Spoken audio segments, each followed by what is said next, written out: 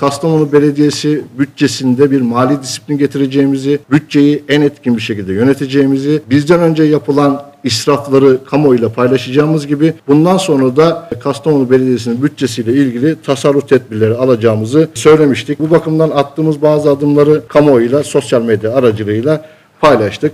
Ama birkaç tanesini örnek e, vermek istiyorum. Bu dönemde Kastamonu Belediyesi Bengü Türk TV'ye 739.183 Türk lirası para ödemiş arkadaşlar. Teknolojinin geldiği aşamayı düşündüğünüzde, sosyal medyanın geldiği aşamayı düşündüğünüzde elinizdeki bir kamerayla yapabileceğiniz işler için Bengü Türk TV'ye Kastamonu Belediyesi olarak tam 739 bin lira para ödemişiz. Kastamonuların hakkından ödemişiz. Dahası ne yapmışız? Türk Gün diye bir ajans varmış. Gün gazetesine abone olunmuş. 461 bin 685 bin TL o gazeteye Kastamonu Belediyesi kaynak aktarmış arkadaşlar. Şimdi bu kaynaklarımızı önümüzdeki süreçte çok daha etkin kullanacağız. Bizim burada grafikerimiz var, basın birimimiz var, çeşitli olanaklarımız var.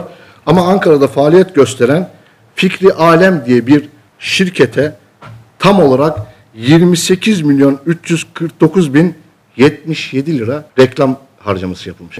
Biz Kastamonu'nun malına, mülküne sahip çıkmakla yükümlüyüz arkadaşlar.